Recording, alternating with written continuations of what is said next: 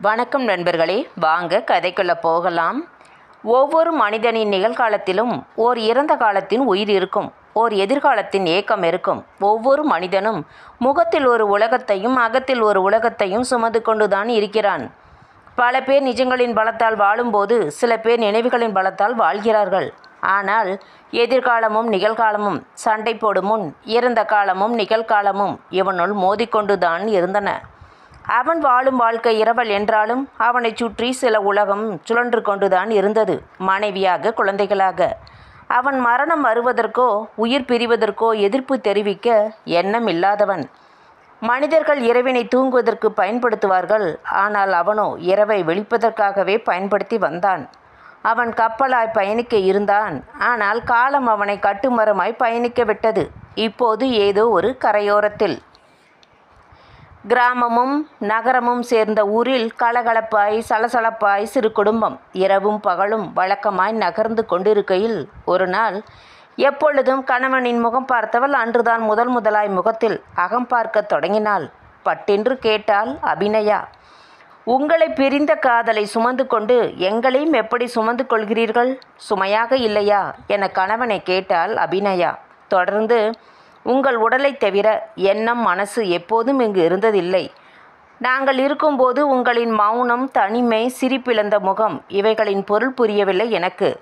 நாங்கள் சிரிக்கும் போதெல்லாம் நீங்கள் சிரித்தது எங்களுக்காகத்தான் என்று இப்பொழுதுதான் புரிந்து கொண்டேன். எங்களின் விருப்பங்கள் தேவைகள் எல்லாத்தையும் நிறைவு செய்யும் நீங்கள் உங்களின் ஆசைகள் அனைத்தும் குறைகளாகவே இருப்பதை இப்பொழுதுதான் உணர்ந்தேன். இதுவரை நான் உங்களிடம் பாசமாக இருந்த நாட்களை விட பாரமாகத்தான் இருந்துள்ளேன் என்பதை இப்போது உணர்கிறேன். நீங்கள் மகிழ்ந்த காலம் காதல் காலமே தவிர கல்யாண காலமில்லை. உங்களை விட்டு பிரிந்தது காதலித்தானே தவிர காதல் அல்ல. அது உங்கள் மனசை விட்டு இறங்கவும் இல்லை. உங்கள் மனசுக்குள் இறப்பதும் இல்லை. காதலோடும் காதலியோடும் வாழ ஆசை கொண்ட நீங்கள் பிரிந்ததால் சுமந்த துன்பங்களை உங்கள் எழுத்தில் கண்டேன். அதனால் நான் ஒருமுறை அவங்களிடம் பேசட்டுமா? என்றாள் அபிநயா. அதுவரை மௌனித்து கொண்டிருந்த கணேசனின் மனம் அதிர்ந்து எழுந்தது. அபிநயா சொன்னால் உங்கள் வாழ்நாள் இதுவரை சுகமில்லை. நினைத்த வாழ்க்கையும் கிடைக்கவில்லை. இனி இருக்கும் காலத்திலாவது சேர்ந்து வாழுங்கள் என்றால் இதுவரை உங்களை விட்டும் உங்களின் எழுத்தை விட்டும் காதல் விலகவில்லை. இதுவரை உங்களை இயக்குவது காதலாகத்தான் இருக்கும் என மனமுடைந்து அவன் மனதோடு பேசினாள். அதுவரை மௌனத்தை கிரகித்து கொண்டிருந்த கணேசன் சொன்னான் காதல் காலத்தில் சேர்ந்து வாழ முயலும்போது பிரிவு வந்தது. அந்த எண்ணங்களையும் வழிகளையும் சுமக்கத்தான் வேண்டும். அது என்னுடைய சுமைகளை தவிர உன்னுடைய சுமையல்ல. அந்த வழிகளை அனுபவிக்க எனக்கு மட்டுமே உரிமையை தவிர நீங்கள் அல்ல. இப்போது என் எண்ணங்களில் அவள் என் காதலி மட்டும்தான். ஆனால் அவள் இன்னொருவனின் மனைவியல்லவா? ஒரு குழந்தையின் தாயல்லவா? நாங்கள் காதலர்களாகவே சேர்ந்திருந்தால் சந்தோஷம்தான். ஆனால் இருவரும் இருவேறு வாழ்க்கையில் வாழும்போது இருவரும் சேர்ந்து வாழ நினைப்பது உன் மனசின் அனுதாபங்கள். ஆனால் சமுதாய வாழ்க்கையில் இது மனித மாண்பின் கரும்புள்ளிகள் உடைந்த கண்ணாடி போல் என் வாழ்க்கை உடைந்தாலும் என்னை சுமந்து கொண்ட உங்களின் வாழ்க்கை உடையாமல் இருந்தால் போதும் என்றான் கணேசன்.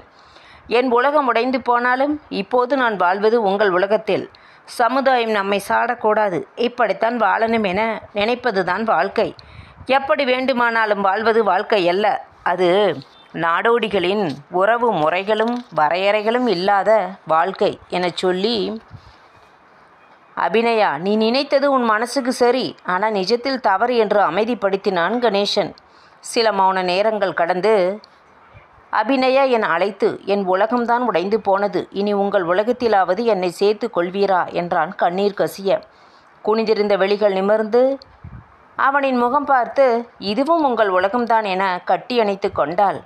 எந்த பெண்ணும் தன் காதலை விட்டு கொடுத்திடுவாள் தனக்கு வரும் வாழ்க்கைக்காக. ஆனால் தன் வாழ்க்கையை விட்டு கொடுக்க தயாரானால் அபிநயா. சில மணி நேரம் கடந்தது உறங்கியது குழந்தைகள். ஆனால் இருவரும் இருவரின் மனம் மட்டும் உறங்கவே இல்லை. அபிநயா மனசு மட்டும் மௌனமாக பேசிக்கொள்கிறது உயிருக்கு இணையான காதலை பிரிந்தும் நம்முடன் உயிருடன் இருப்பதும் அதுவும் நமக்காக இருப்பதை நினைத்து பெருமைப்படவும் முடியாமலும் சிறுமைப்படவும் முடியாமலும் அமைதி சுமந்து இருக்கையில் தன் கணவனை எழுப்புகிறாள். எழுந்தான் கணேசன். உங்கள் எழுத்துக்களில் உங்கள் காதலையும் காதல் வழிகளையும் என்னால் உணர்ந்து பார்க்க முடிகிறது. ஆனால் உங்கள் காதலியை எப்போது பார்த்தீர்கள் என கேட்டால் ஏனெனில் நீங்கள் பிரிந்து பத்தாண்டுகள் ஆயிற்று என அறிந்தேன். ஆனால் உங்கள் கைபேசியில் உங்கள் காதலியின் குடும்ப படம் பார்த்தேன் என்றாள் அபிநயா. திடீரென்று அடித்த மின்னல் போல் அதிர்ந்து போனான் கணேசன். இதை மறைப்பதற்கு புதிய பதிலை தேடாமல் உரிய பதிலை சொல்ல முயன்றான். நீ கேட்பது சரிதான். ஆனால் நான் சொல்லும்போது நிதானம் கலந்து கேள் என்றான். நீ பார்த்த குடும்ப படம் பத்து ஆண்டுகள் கழித்து பதினொன்றாம் ஆண்டில்தான் நானும் கண்டேன். நான் காதலித்த காலத்தில் செல்போன் வசதிகள் மிக குறைவு. செய்திகளை சொல்லவோ கேட்கவோ கடிதம் மட்டுமே. சந்திக்க வேண்டுமென்றால் நேரில் செல்வேன். இன்றைய வசதி அன்றைக்கு இல்லை. இப்போதுள்ள என் செல்போனில் நான் முகநூலில் பதிவாகி அறிமுகமாகி என் எண்ணங்களையும் கருத்துக்களையும் பதிவு செய்து வந்தேன். ஒரு நாள் ஒரு ஃபோன் அழைப்பு வந்தது. கவனிக்கவில்லை. அடுத்த நாளும் வந்தது. எடுத்து பேசினேன். எதிர்முனையில் பேசியது ஒரு பெண் குரல். என்னால் யார் என்று யூகிக்க முடியவில்லை. அந்த ஹலோ என்ற வார்த்தையை மட்டும் மூன்று முறை கேட்ட பிறகு பத்து ஆண்டுகளுக்கு முன்பு கேட்ட குரலின் ஞாபகம் வந்தது. கஸ்தூரி என்றேன். ஆம் என்றாள். என்ன பேசுவது? என தெரியாமல் தடுமாற்றமாக இருந்தது. காலம் கடந்து போனதால் கோபப்பட்டாலும் ஆனந்தப்படாமலும் ஒருவித படபடப்பால் நலமா என்றேன். நலம் என்றால் வாழ்க்கை எப்படி என்றேன். காலம் கடந்த வாழ்க்கை ஆசைகள் இல்லாத வாழ்க்கை. ஏதோ இருக்கிறேன். அவரோடும் ஒரு குழந்தையோடும் என்றாள். அடுத்த கேள்வியாக எப்படி பத்து ஆண்டுகளாய் இல்லாத நினைவு இப்போது எப்படி என்றேன். உங்களை முகநூலில் கண்டேன். நம் காதல் பிரிவு உங்கள் மனசில் இன்னும் காயமாகவே உள்ளது என்பதை முகநூலில் நீங்கள் பதிவு செய்த அகவரிகளில் கண்டேன் என்றாள் கஸ்தூரி. நீங்கள் எப்படி இருக்கீங்க? என்றால் நானும் சுற்றத்தில் பெண் எடுத்து நிலா முற்றத்தில் குடில் கட்டி குழந்தைகளோடு இருக்கிறேன். இதில் சந்தேகம் வந்ததால் உடனே உங்கள் மனைவி குழந்தைகளின் புகைப்படங்களை வாட்ஸ்அப்பில் அனுப்புங்கள் என்றால் சற்றும் தாமதிக்காமல் அனுப்பினேன். படத்தை பார்த்து சந்தோஷம் என்றாள். அதன் பிறகு நீங்கள் சந்தோஷமா? என கேட்டாள். என்னில் வார்த்தைகள் உழந்து போனது இருக்கேன் என்றதும் அழுதாள் கஸ்தூரி. இரண்டு நாள் கடந்தது பேச மனம் நினைத்தது. ஆனால் எப்படி பேசுவது? ஏன் பேசணும்? என குழப்பத்தில் இருந்தேன். பிறகு நானே பேசினேன். கஸ்தூரி பேசினாள். அவளின் குடும்பத்தார்களை விசாரித்தேன். ஆனால் மனசுக்குள் கஸ்தூரியை பார்க்கணும் என்ற எண்ணம் இருந்தது. இத்தனை ஆண்டுகள் கழித்து விசாரித்ததற்கு நன்றி என்றேன். பின்பு இந்த ஃபோன் விசாரிப்புகள் இனி வேண்டாம். ஏனெனில் அவசியமின்றி பழைய ஞாபகங்கள் வரும். அது இருவருக்கும் பிரச்சனைதான். நாம் காதலர்களாக இருந்தால் பேசலாம். இப்போ நாம் வேறு. அதனால் இந்த வாழ்க்கையிலாவது யாரையும் புண்படுத்தாமல் உண்மையாக இருந்து இதுவரை தொடர்ந்த வாழ்வை தொடங்கு என்றேன். அவளும் இதைதான் சொல்ல இருந்தேன் என்றாள். இதில் வருத்தப்பட வேண்டியதில்லை. இரண்டு குடும்பங்களுக்கும் நல்லது என்றேன். ஆனால் ஒரு வேண்டுகோள் வைத்தேன். எப்பொழுதாவது உன்னை சந்திக்க வேண்டுமென கூறி முடித்தேன். மாதங்கள் கடந்தன. அவரவர் வாழ்க்கையில் அவரவர பயணங்கள் நிகழ்கையில் ஒரு நாள் என் ஃபோனுக்கு கஸ்தூரியின் அழைப்பு வந்தது. பேசினேன் நாளை நாம் படித்த பல்கலைக்கழகத்திற்கு வர முடியுமா? என்றாள். எதற்கு? என்றேன். நான் எம்ஏ படித்த பிறகு காதலில் பிரிந்து திருமணம் முடிந்து எம்ஃபில் சேர்ந்து படித்தேன். அந்த சான்றிதழ்களை வாங்க வேண்டும் என்றால் சரி வருகிறேன் என்றேன். அடுத்த நாள் அந்த பல்கலைக்கழகத்தில் பத்து ஆண்டுகள் கழித்து அவளுக்காக காத்திருந்தேன். அவள் நெடுந்தொலைவிலிருந்து வருவதால் நிமிடங்கள் மணிகளாகின பிறகு நான் காத்திருந்த பூங்காவினுள் என்னை நோக்கி வரும் கஸ்தூரியை கண்டேன். படபடத்து போனேன். என் எதிரே புல்வெளியில் அமர்ந்தாள். பத்து ஆண்டுகளுக்கு முன் திருமண அழைப்பிதழில் பெயர்களாகச் சேர்ந்து திருமணம் நடக்காமல் பிரிந்து போன நாங்கள் அப்போதுதான் சந்தித்தோம். பிறகு நேரடியாக விசாரித்துவிட்டு வந்த வேலையை தொடங்கி முடித்து சான்றிதழ்களை வாங்க காத்திருக்கும் போது ஒரு மணி நேரம் கழித்து வாங்க என அலுவலக ஊழியர் கூறினார். அதனால் மீண்டும் அந்த பூங்காவினுள் அமர்ந்தோம். என் மனசுக்குள் மட்டும் சில கேள்விகள் கேட்கணும் இருந்தது. கொஞ்ச நேரம் கஸ்தூரி முகத்தை உற்று கவனித்தேன். என்ன என்றால் உன் முகம் பார்த்து நாளாயிற்று அதான் பார்க்கிறேன் என்றேன். ஆனால் அவள் முகத்திலும் பழைய பார்வையோ சிரிப்போ இல்லை. மௌனமாகவே இருந்தால் கேட்டேன் இத்தனை ஆண்டுகள் கழித்து நாம் இந்த சூழலில் சந்திப்போம் என எதிர்பார்க்கல. ஆனால் காலம் நம்மை ஏதாவது ஒரு கோணத்தில் சந்திக்க வைக்கும் என்று நினைத்திருந்தேன். அது இப்போது நடந்ததால் சின்ன மகிழ்ச்சி. ஆனால் வருத்தமாகவும் இருக்குது. இப்போது என்னை தேடி வந்த நீ வாழ்வதற்காக என்னை தேடி வராதது ஏன்? என்றேன். வந்திருந்தால் இந்த பிடிப்பில்லாத வாழ்க்கையை சுமந்திருப்பேனா? என்றேன். அப்போது பேசினால் அன்று என்னை நீ தேடி வரும்போது நான் மட்டும் பெற்றோர்களின் முடிவை தேடி போனேன். அவர்கள் நம்மை பிரிக்கத்தான் ஒன்று சேர்ந்தார்களே தவிர சேர்த்து வைக்க ஒன்று சேரலை. நீங்கள் தன்னிச்சையாக போராடினீங்க. நானும் அவங்க பின்னால் இருந்து போராடினேன்.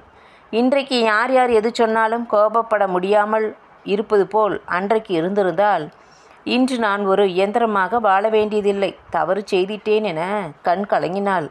அவளின் வாழ்க்கை நிலை அப்பொழுதுதான் உணர்ந்தேன். காதலித்து சேர்வதற்கு தான் வீட்டில் உள்ளவர்களின் சம்மதத்தை கேட்க வேண்டியுள்ளது. ஆனால் கல்யாணம் செய்வதற்கு என்னோட சம்மதத்தை கூட கேட்கவில்லை. உங்களோடு சேர்வதற்கு பல முயற்சி செய்தேன். யாரும் ஒத்து வரல. ஆனால் ஒரே முயற்சியில் உங்களை பிரிவதற்கு அனைவரும் ஒத்து வந்தனர் என்றால் இப்போ வாழ்கிறேன். இந்த வாழ்க்கை என் வீட்டார்கள் வாழ்வதற்காக நான் வாழ்வது. என் வாழ்க்கை எப்போவோ அழிஞ்சு போச்சு. ஒன்று மட்டும் தெரியுது. காதலரை தொலைத்தோ காதலை மறைத்தோ வாழ்ந்திடலாம். ஆனால் வாழ்க்கையை தொலைத்துவிட்டு காதலிக்க முடியாதுன்னு தெரியுது. காதல் சில சமயங்களில் அடிமைப்பட்டால்தான் உயிர் வாழும் சுயமரியாதை கொண்ட காதல்கள் மயானங்களில் பல.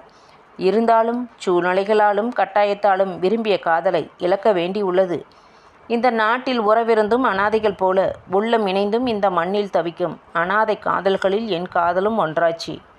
நாம் காதலித்து பயனென்ன உயிர் வாழ்ந்தும் பயனென்ன நீ வேறாய் நான் வேறாய் வாழவா? இத்தனை ஆண்டுகள் காதலித்தோம். இந்த ஏமாற்றம் அவமானம் அவமரியாதைகளை சுமக்கணும் என தெரிந்திருந்தால் நம் காதலுக்கு முதலிலேயே கல்லறையை கட்டியிருப்பேன். ஆனால் நான் கல்லறை கட்ட நினைத்தேனே தவிர நீங்கள் அல்ல என்பதை புரிந்து கொண்டேன். நான் கல்லறையில் வைத்த காதலை இதுவரை நீங்கள் கலங்கரை விளக்கமாக வச்சிருக்கீங்க. எனக்கு வாழ்க்கை வந்தபோது காதல் வேறு கல்யாணம் வேறு என இருக்கிறேன். ஆனால் வாழ்க்கையோடும் காதலோடும் நீங்கள் வாழ்கிறீங்கன்னு தெரிஞ்சுக்கிட்டேன். இதுதான் இந்த சமுதாயத்தில் ஆணுக்கும் பெண்ணுக்கும் உள்ள வித்தியாசம் என உணர்கிறேன் என சேர்த்து வைத்திருந்த மனச்சுமைகளை கொட்டி தீர்த்தாள். பிறகு சான்றிதழ்களை வாங்கி கொடுத்து அனுப்பி வைத்தேன் என அபிநயாவிடம் சொல்லி முடித்தான் கணேசன். இரவு கடந்து விடியலும் வந்தது. அபிநயா வாழ்விலும் புதிய விடியல் வந்தது. மகிழ்ச்சியோடு அவரவர் குடும்பங்கள். இந்த கதை இத்துடன் முடிவடைந்தது. நன்றி வணக்கம்.